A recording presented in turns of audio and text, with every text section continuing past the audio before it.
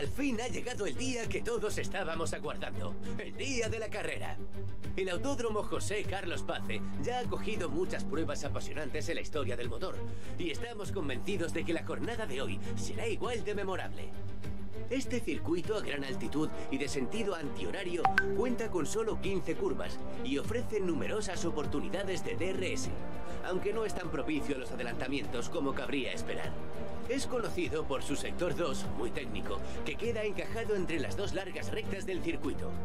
La segunda de ellas está considerada una de las más largas y veloces que hay.